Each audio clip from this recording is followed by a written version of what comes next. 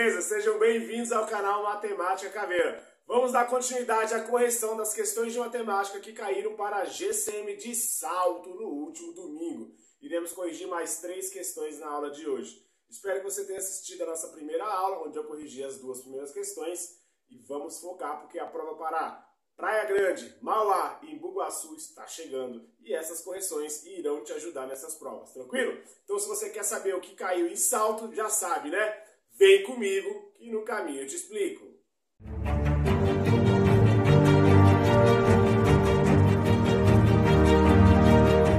Bora lá, senhores! Se você ainda não é inscrito no canal, se inscreve no canal, deixa o like caso você goste do vídeo aí Estou corrigindo todas as questões que caíram nessa prova de salto. Foram 15 questões e vai dar uma bagagem maravilhosa para que você consiga ir bem na sua prova para Mauá, Bugaçu e também Praia Grande. Claro, tem Santo André no mês de setembro, mas aí a Banca Vunesp ela tem mudado a estrutura das suas provas, cobrando muito gráfico, tabela, enfim.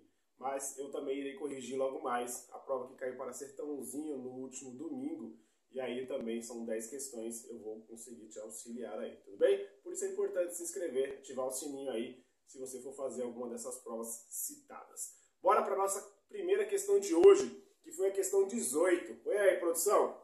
A 18 falava o seguinte, ó. Considerando a, a equação abaixo, qual o valor de x para y igual a 8? Então ele está afirmando que o y vale 8. Senhores, uma questão de equação do primeiro grau. Eu vim falando, eu corrigi várias questões para essa banca aí. É, essa Gadias ela é maravilhosa, ela é bem tranquila. Ela nem cobra situação problema. Bem fácil mesmo. Se você tiver os conceitos um a um de cada tema aí da matemática, você consegue muito bem na prova da SH Dias, tranquilo? E já fica aqui como uma deixa, tá? Em breve vai abrir o concurso para Itu, geralmente quem faz a banca que faz a prova de Itu é a SH Dias. Então, já vai se atualizando aí. Depois, quando abrir esse concurso, volta aqui e assiste novamente essas aulas, porque vai te ajudar bastante, tá bom? Bora lá! E a expressão é essa daqui, ó, y igual a 6x dividido para 3 mais o 2. Qual que é a sacada dessa banca? Eu fiz essa, eu fiz a prova de Itapira, foi essa banca também, assim como Santa Bárbara do Oeste também foi essa banca é, ela usa muito esse tipo de, de nomenclatura aqui. Ó. Ela poderia muito bem colocar o 6x sobre 3 mais o 2 igual a y. É a mesma coisa, tá, senhores? É a mesma coisa. Só que aqui você já iria conseguir perceber que é uma divisão, certo? Você está vendo isso. Dessa maneira que ela põe, fica um pouco mais complexo de você perceber que o 6 está sendo dividido para 3. Concorda comigo? E é essa a sacada da banca. Ela fez essa mesma jogada nas outras provas dela, tudo bem? Mas ó, eu vou até apagar esse modelo que tá aqui, para que você enxergue aqui, ó, 6 dividido para 3 dá 2. Então você já saberia. E outra, ó, ele falou o valor do y, o y vale 8. Então no lugar da letra y, eu vou pôr o valor que ele vale, ó, vale 8, igual 6 dividido para 2, quer dizer, 6 dividido para 3 dá 2, 2x mais o 2. Percebe? Ficou muito fácil. E eu falei isso nas nossas correções para salto. Você tem que aprender equação do primeiro grau porque é a base da matemática. Se você ainda tem dificuldade com isso, realmente você vai ter dificuldade com matemática. E aí não adianta você falar para mim que você tem dificuldade em interpretação. Não é só isso. Você tem que dominar isso. Aí sim, depois você vai conseguir interpretar as questões naturalmente. Tranquilo?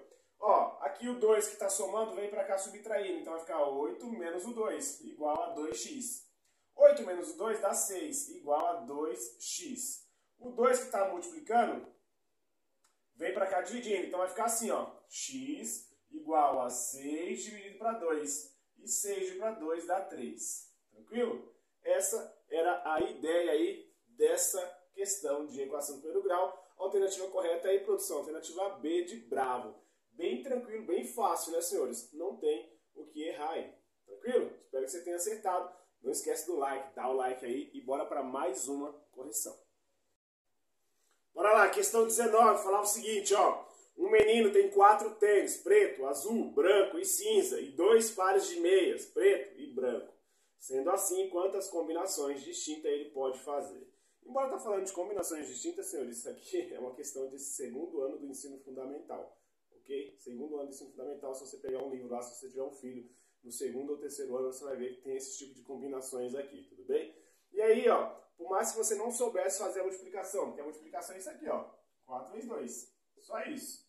Essa é a resposta, era só isso. Mas para que você entenda, se caso caia uma questão dessa numa outra prova futura sua, pense o seguinte, ó, eu tenho um tênis eu vou colocar, um tênis no caso é uma meia, né? Eu vou colocar que seja azul e vermelho, ó. Tudo bem? E aí eu tenho quatro, quatro, ó, meia e meia, beleza? Eu tenho quatro tênis, ó. Um, dois, três, quatro. Então, com esse par de meia eu consigo me vestir quatro maneiras diferentes, certo?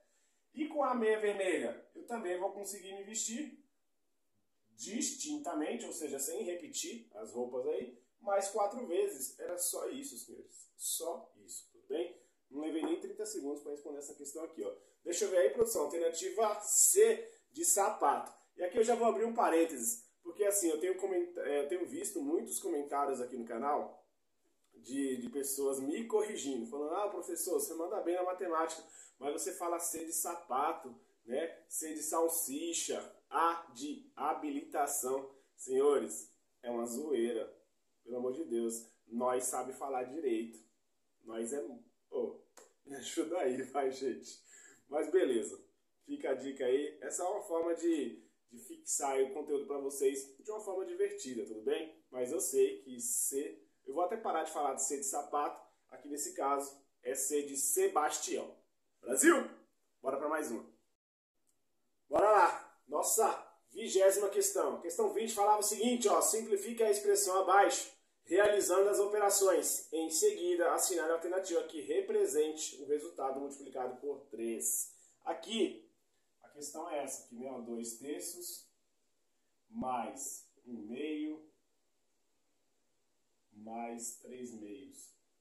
E aí, ó, de novo, né, a questão ela colocou dessa maneira aqui, né, ó, colocou dessa maneira aqui, mas lembrando que fração é em pé, né? Ó, um em cima do outro, tudo bem? É uma sacada que essa banca coloca aí para dificultar. Quando você coloca em pé, você já percebe ó, que esses dois últimos eu poderia juntar, porque eles têm denominadores iguais, né? Então, eu nunca somo embaixo, nunca. Bastava eu juntar, então vai ficar assim, ó. Esse cara eu só vou copiar, mas, como eu falei, ó, só junta. Embaixo não muda. 1 mais 3 dá 4. Aqui eu poderia fazer a divisão, né? 4 dividido para 2 daria 2, já seria bem mais fácil. Mas eu vou deixar dessa maneira para que você entenda a ideia de uma soma de frações com denominadores diferentes, ou seja, esses caras de baixo são, são diferentes, tudo bem? Quando isso acontecer, senhores, você tem que tirar o MMC, ok? O MMC de 3 e 2, ó, só para relembrar, é você fatorar em números primos aqui, né? Ó, por 2, por 3. 3 vezes 2 dá 6. Tudo bem? Aí você coloca o 6 aqui. E divide para o de baixo, multiplica pelo de cima. Ó, 6 dividido para 3 dá 2. 2 vezes 2 dá 4. Sinal de mais aqui. 6 dividido para 2 dá 3.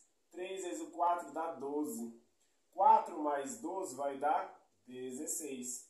16 dividido para 6. Só que 16 dividido para 6, senhores, são números pares.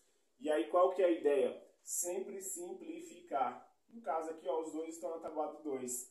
16 dividido para 2 dá 8. E 6 para 2 dá 3. Só que, cuidado aí, tá?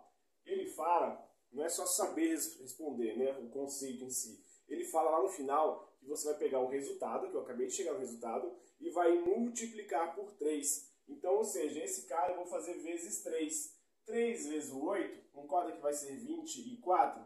20, ó, e a multiplicação é só de cima pelo de cima, tudo bem? 24 dividido para 3 dá 8. E aqui entrou numa, um debate aí, né? Alguns candidatos estão querendo recurso. Por quê? Põe aí, produção. Porque a alternativa A é 24 sobre 3. E a alternativa correta, que é a alternativa D de jeans, é a 8. Beleza? Número 8.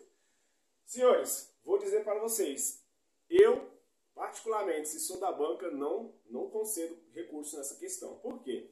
Na matemática nós aprendemos o seguinte, Sempre que tiver uma fração, você tem que deixar ela de forma irredutível. O que significa isso? Tem que simplificar até não dar mais, tudo bem? Até ficar irredutível. E aí, quando você tem uma alternativa como essa, ou até mesmo a alternativa B, que está 12 sobre 8, por eliminação, por eu já conhecer um pouco de matemática, sem fazer conta, a A e a B eu não iria nunca, porque olhar para elas eu ia perceber que dá para simplificar as duas. E não pode ter alternativa em prova nenhuma de questões que não que ainda dê para simplificar, tranquilo? Então, por isso eu acho que não cabe recurso. O mais correto mesmo, embora elas pareçam ser iguais, né? Mas o mais correto é sempre a forma irredutível. Faça o seu recurso, é um direito que você tem, se você caso errou essa questão aí, mas eu particularmente não concederia recurso nessa questão, porque realmente a alternativa D de jeans para mim é a correta. Tranquilo? Espero ter te ajudado.